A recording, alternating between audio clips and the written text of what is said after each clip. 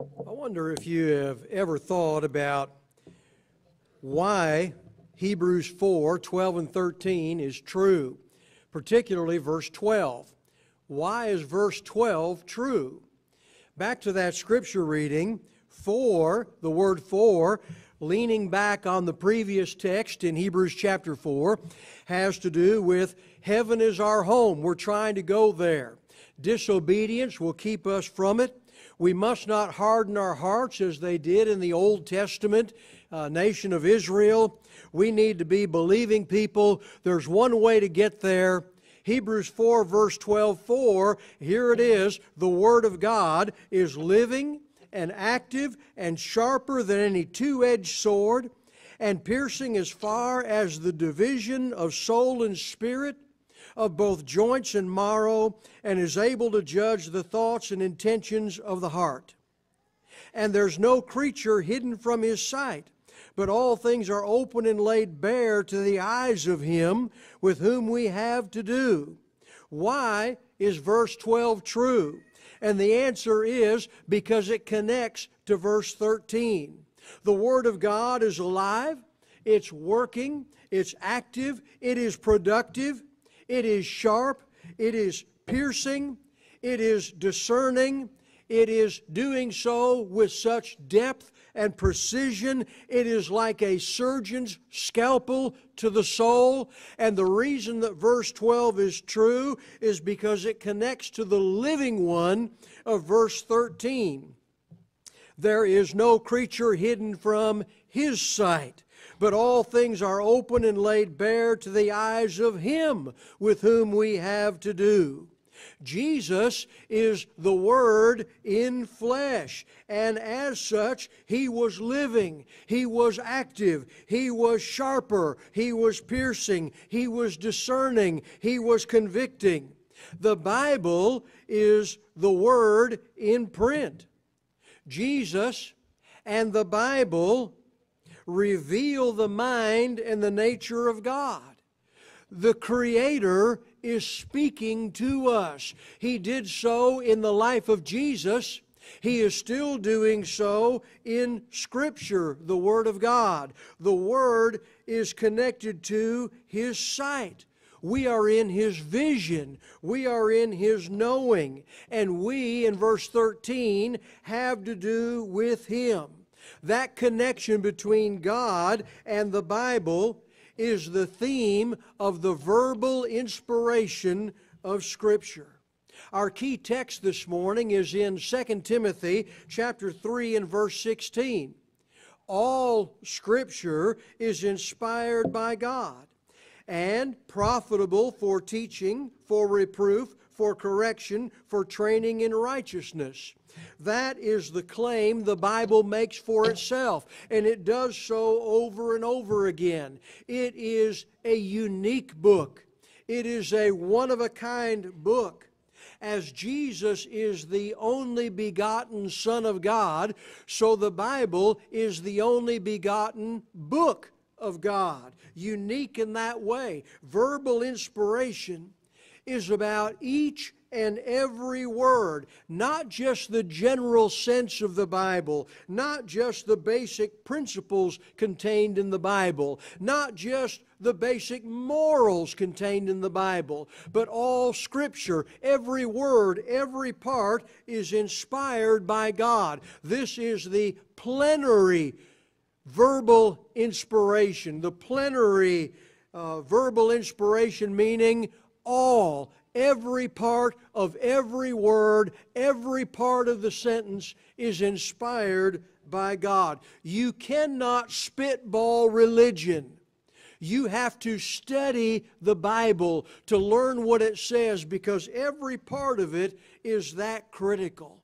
Here is the basic idea of inspiration The original Bible documents were recorded through about 1600 years of time by about 40 different human pens, but God was the ultimate author of each and every one. God would allow those different individual penmen to use their personalities, to use their abilities, to use their vocabulary. For example, Paul writes very different than John. They each have their own word set, their own vocabulary, their own style, but they were under the guidance of the Holy Spirit along the way. Listen to this great text describing the process in 2 Peter chapter 1 verses 20 and 21. But know this, first of all, primary importance that we get this. We need to understand it that no prophecy of Scripture is a matter of one's own interpretation. For no prophecy was ever made by an act of human will, but men moved by the Holy Spirit spoke from God. Those original documents were perfect, without error, recording God's mind and will for mankind. That process alone is a marvel. The uniqueness, the accuracy of the Bible should convince you of the existence of God. It is that unique of a book, that fascinating in its reading, how it is woven together over centuries of time by all these different authors living in different places. One didn't know the other on many occasions. And yet it so fits together that it can only come from the authority and guidance of God.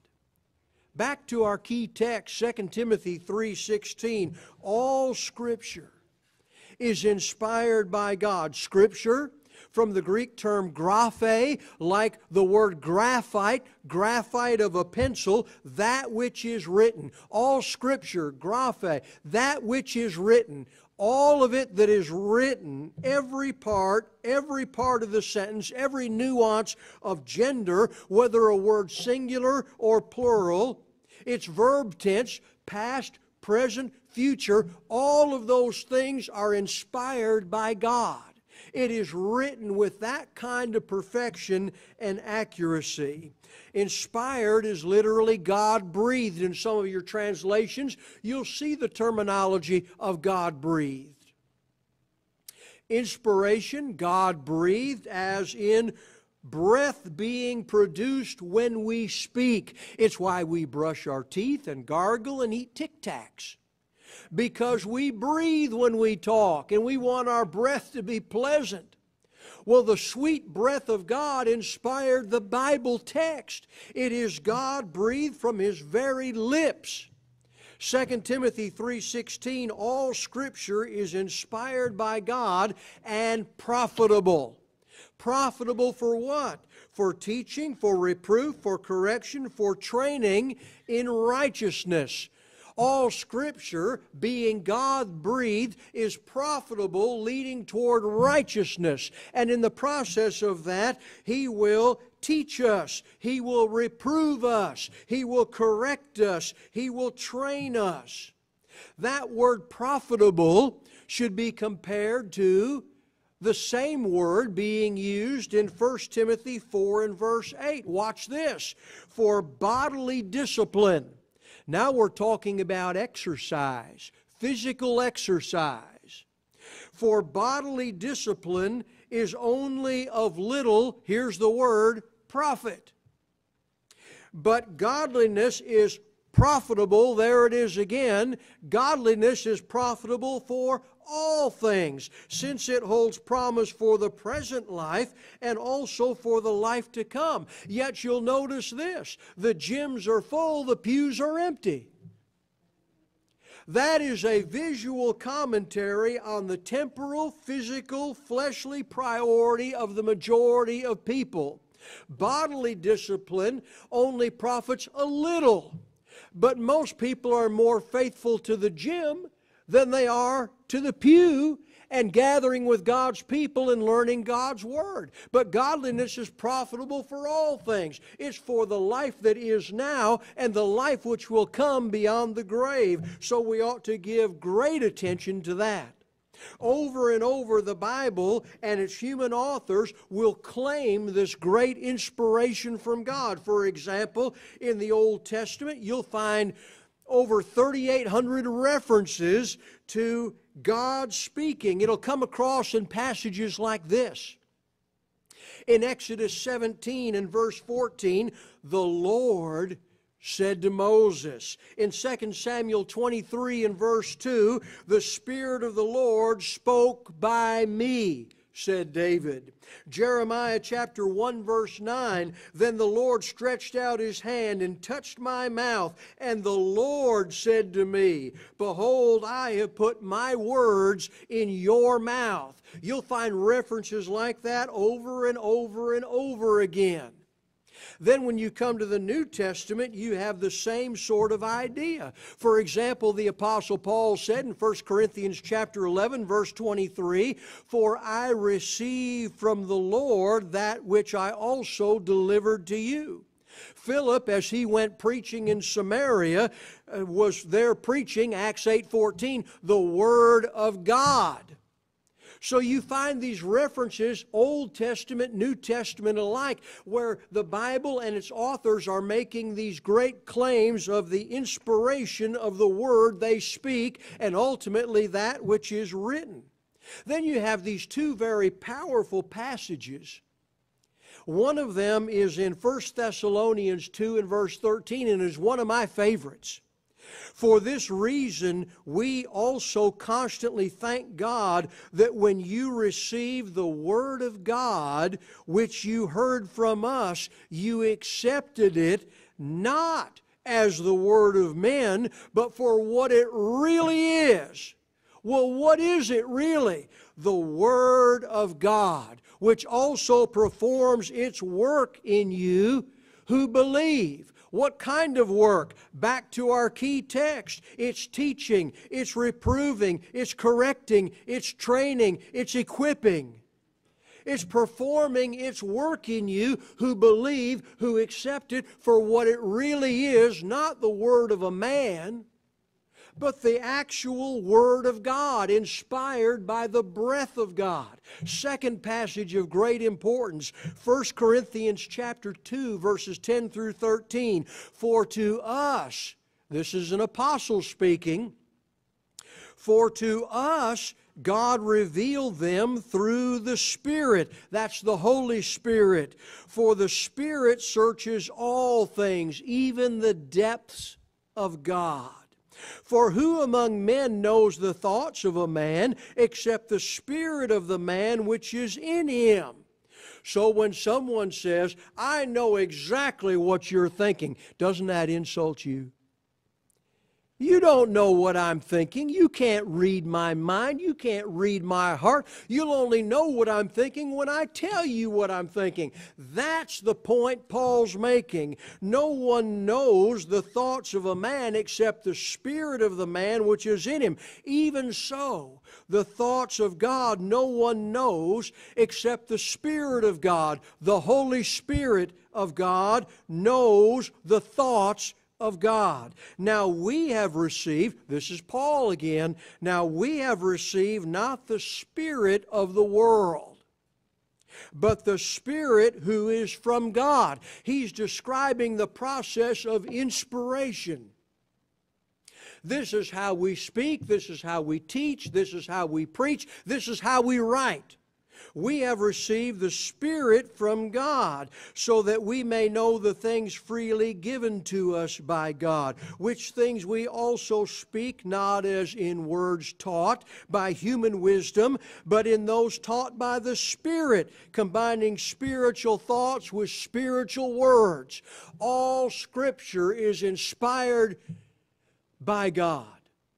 And that's how we can know the mind and the will of God for us. So when somebody comes along and they say, Well, don't you think God would want this or that? I think God would want this or that. That's as insulting as somebody telling you, I know what you're thinking. We don't know what God thinks. We don't know what God wants, save that which He has written and recorded for, for us in the inspiration of Scripture, the Holy Bible. That's how we know. Now, Jesus will illustrate the degree of inspiration, and it is down to the atomic level of Scripture. In his ministry, he emphasized the thorough inspiration of Scripture in the Old Testament text. In Matthew 5, verses 17 and 18, he said, do not think that I came to abolish the law or the prophets. I did not come to abolish, but to fulfill. How much did you come to fulfill? What do you think of the Old Testament scriptures? Here's what Jesus had to say. For truly I say to you, until heaven and earth pass away, not the smallest letter or stroke shall pass from the law until all is accomplished. That's how much of it matters. Every little piece and part of it. King James has jot and tittle. A jot, or the smallest letter, was the smallest letter in the Hebrew alphabet. The tittle was the stroke, the tiniest mark on certain Hebrew characters. If you were to look at a Hebrew text, you might see the smallest little thing that might look something like a comma. And whether it's there or not matters to the word and the meaning. Jesus said, even the jot and tittle, that smallest letter and stroke, matters. It has meaning. And I have come to fulfill all of it down to that degree. Jesus made critical doctrinal statements on precise Old Testament grammar. He was once speaking with the Sadducees. They didn't believe in the resurrection of the dead. They believed that when you die, you were like Rover, dead all over. There was no judgment day, there was no heaven, there was no hell. You just died, and that was the end of you nothing to answer for beyond the grave. So Jesus had a discussion with them about that. Here's what he said in Matthew 22 verses 31 and 32. But regarding the resurrection of the dead, have you not read what was spoken to you by God? And now he goes to Exodus 3 and verse 6, the burning bush incident. Appears there and speaks to Moses, sending him back to Egypt. And this is what he told Moses I am, present tense. I am the God of Abraham and the God of Isaac and the God of Jacob. And then Jesus remarked this way to the Sadducees He is not the God of the dead, but of the living. And even though that father, son, and grandson, Abraham, Isaac, and Jacob, had long been dead for centuries, he announced, I am, present tense the God of those three patriarchs. I am their God, and I'm not the God of the dead, I'm the God of the living. Meaning, they still exist. There is life after death. Their bodies are in the grave, but their spirit is alive in the spiritual realm. They still are. And that answered the, the Sadducees. Then again, he quoted from Psalm 110 a little bit later in that chapter to prove his own identity. Here it is in Matthew 22, beginning in verse 41. Now, while the Pharisees were gathered together, Jesus asked them a question. What do you think about the Christ, about the Messiah? Whose son is he? Now, they didn't recognize he was the Christ. They didn't recognize he was the Messiah, but he asked them, theoretically, Old Testament prophecy, tell me about the Christ, about the Messiah. Whose son is he? What's his genealogy? And they said to him, the son of David. He said to them, Then how does David in the Spirit, according to inspiration, David being guided by inspiration of God, how is it then that David in the Spirit called him Lord. If he is a descendant of David, how can David call his own descendant down the, through the ages? How can he call his own descendant Lord? Explain that to me. He said, The Lord said to my Lord, Sit at my right hand until I put your enemies beneath your feet. So he quoted from Psalm 110 right there. And if David calls him Lord, how is he his son? Jesus had a dual nature, and they didn't understand it. As the son of David, Jesus was human, the Son of Man. But as deity, he is the Son of God. And that's why David would term him Lord, God, Yahweh. That's how David could call him Lord. So that language in the Old Testament is very particular and intended. Jesus promised the apostles that when he rose from the grave and went back to heaven, that God the Father would send the Holy Spirit in his place and deliver God's truth to them. You'll read about it in John 14 and John chapter 16. The indication is this just as inspired as the Old Testament text was, so will the New Testament text be with the coming of the Holy Spirit to give that truth to the apostles and New Testament writers. But some people will wonder about this. What about the transmission of that text? What about the translation of that text? How do we know it's secure? How do we know that it's still in its form that is inspired of God? Hasn't it changed down through the ages? If you've ever been at a, a party game icebreaker where they played the telephone game, you know what we're talking about where you have this row of people or a circle of people, and the first one has a story.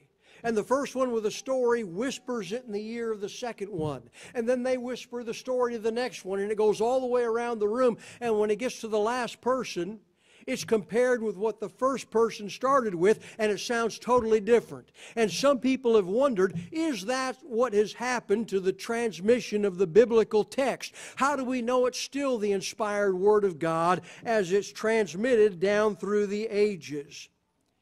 There's a man I want to tell you about his name is Robert Dick Wilson, and I made some copies of this article. I found it at ChristianCourier.com, and I've got a few copies up here with me. I'll leave them on this table after the lesson this morning. Robert Dick Wilson is an interesting man. He was born in 1856, and this is so impressive. He wanted to write with scientific research about the Old Testament text and its accuracy, and he wrote a book about it. And in the preface of the book, here's the statement he makes in my discussion of the text, therefore, it is my endeavor to show from the evidence of manuscripts, versions, and the inscriptions that we are scientifically certain that we have substantially the same text that was in the possession of Christ and the apostles, and so far as anybody knows, the same as that written by the original composers of the Old Testament documents. Now, this article will tell you the background of that great statement. How could he say such a thing? How could he be so certain of it? He set out to confirm the credibility of the Old Testament. Born, as I said, in 1856, absolutely brilliant as a language student. And while still in college, he could read his New Testament in nine different languages. He was 25 years old and he made this determination I will invest the rest of the years of my life in the study of the Old Testament text with the goal of being able to speak with great authority as to whether or not it has been accurately preserved. He was going to answer the question whether or not it had been grossly corrupted across the centuries of transmission based upon the longevity in his immediate family background. He's looking at those preceding him and how long they lived. He figured this out. He was likely going to live to be about 75 years old. He's 25 at the time. He has about 45 years, he's guesstimating, to do this work. So he divides his project up into three 15 year segments. First 15 years, he's going to study every language that had a bearing on the text of the Old Testament. During that time, he mastered some 45 languages. Not only became an expert in the Hebrew language, but in all of the kindred tongues of the Hebrew language. He learned all the languages into which the scriptures have been translated down to the year 600 AD. In the next segment of 15 years of his life, he began to study the Old Testament text itself. And if you know anything about Hebrew, you know that Hebrew text had no vowels, it had only consonants. And so he set out to study every consonant in the Old Testament text. That came to about one and a quarter million of them. And he began to examine each and every consonant, making scientific investigation of the Old Testament text, compared it to other writings of antiquity, and the Bible excelled as amazingly precise and preserved. The final 15 years that he had to work with, he began to write down the results of his research, writing this book, a scientific investigation of the Old Testament, and comes out with that wonderful statement that I read to you moments ago. Now, that is an amazing study of the Old Testament text. And I could give you two or three other books off the top of my head where you could begin to understand the process of the transmission of the Bible text. Neil R. Lightfoot's book, How We Got the Bible. Neale Pryor, You Can Trust Your Bible. Wayne Jackson, The Bible on Trial. And there are other books that you can have in your hand today and to begin reading about that process and to be certain that it is accurate and it's the Word of God transmitted down through the ages, protected by the one who inspired it. The reliability of the New Testament documents is just as certain as the Old Testament. We have more than 5,000 Greek manuscripts in the New Testament in part or whole. Some date back to the early second century, which is very close to the time of the last living apostle. We have extant pieces of Scripture from that period of time. C.R. Gregory, in his canon and text of the New Testament, estimates the textual variations to be about one one thousandth of the entire text, meaning any textual variations in transmission of the New Testament down through the ages is practically nil and of no major impact at all in any way. The transmission of the New Testament text then has been accurate and careful. But what about translation? What about, we have all these translations out today. What about that?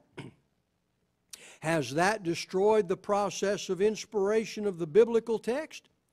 Well, translation is nothing more than taking the biblical text written in Hebrew, Aramaic, and Greek and translating it into whatever preferred language you have. And the way you do that is you take a word from Hebrew, Aramaic, or Greek, you take a word from that, and you replace it in a word with the new language that means the same thing. There's integrity in doing that word for word translation. It remains the same message, it doesn't change. The important thing is to know how your Bible was translated. So when you buy that brand new Bible, don't skip those first pages in that Bible. In that beginning part of that Bible, it will tell you how they translated it. Was it a word for word translation? Was it a thought for thought translation? Was it a paraphrase? All of that matters. Word for word is the most accurate. Thought for thought is a little looser. Paraphrase is just me telling you what I think it means. Know how your Bible was translated. Read the preface there in your Bible. Was it done by one man? Or was it done by a committee with varied backgrounds so they become a check and balance system for each other? I have another piece of paper. I'll leave it on the table up here. It is a guide to how all the translations, most of them that you would have, how these translations are done. Is it word for word? Is it thought for thought? Is it a paraphrase? What kind of translation is it? I'll leave copies of that on the table for you to look at. We're back to this.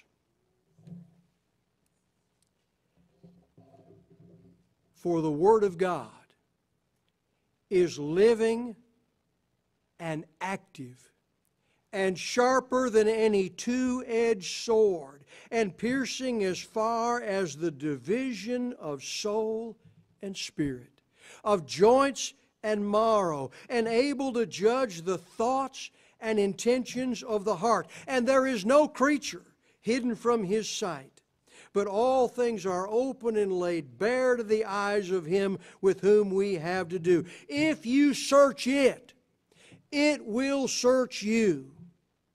It will lead you, it will correct you, it will protect you, and it will lead you to heaven's shore and the presence of the one who gave it to us. You will see yourself clearly and the need of your soul that only God can supply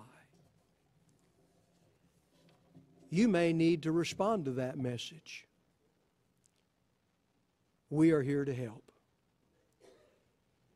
In one on one personal Bible study, to help you get a firm footing in how to study the Scriptures and to get a foothold of where to begin and how to proceed, to teach you about God's manner of salvation and how His grace is applied, the blood of Christ, and it even calls the erring Christian back home in repentance and prayer.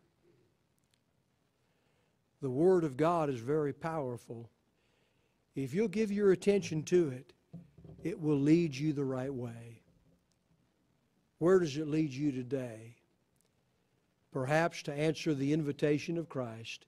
If so, please come forward to the front of the auditorium while we stand and sing.